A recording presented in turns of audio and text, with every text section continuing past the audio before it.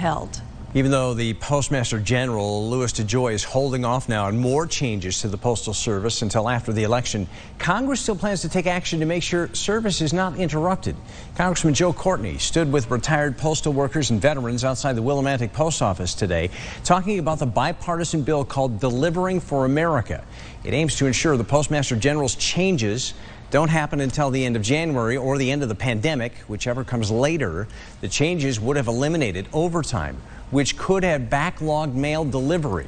He also wants to remove the blue collection boxes, change post office hours, and close mail processing facilities. The congressman says many are terrified their votes are not going to be lost or wind up lost and not counted. The notion that they were going to treat that as bulk rate mail, which takes 10 to 15 days versus priority mail, which has always been the case for absentee ballots or mail in ballots, uh, is an outrage. For a person that has no postal experience to affect operational changes will be a disaster.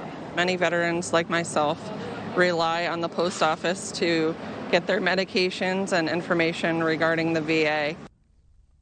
Congress is expected to consider legislation to block the Postmaster General's changes and provide funding for the Postal Service during a Saturday session in Washington.